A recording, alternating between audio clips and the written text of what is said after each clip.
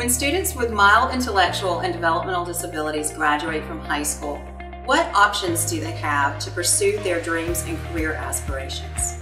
At Georgia Southern University, we founded Eagle Academy, an inclusive post-secondary education program that provides this population of students with the opportunity to enroll and be an active student in the Eagle Nation. The Academy offers equal access to gainful learning and employment for those with mild intellectual and developmental disabilities and is one of eight programs of its kind in the state of Georgia. Two of the central goals of the program are to help students become self-sufficient and become work-ready. Eagle Academy students have a full college experience.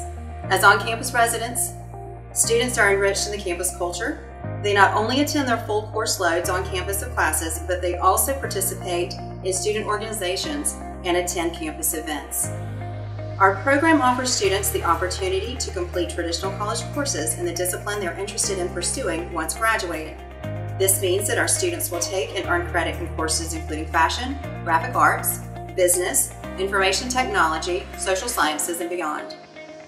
To help our students succeed, we have a support system that includes peer mentors and program supports that assist with coursework, navigating the campus and bus system, getting them active on campus, and learning time management and organizational skills. For those of us here at Eagle Academy, this program is more than just a transition program for our students with disabilities. Eagle Academy is our passion, and we strive for our students to leave our program as stronger, better adults that are achieving their dreams.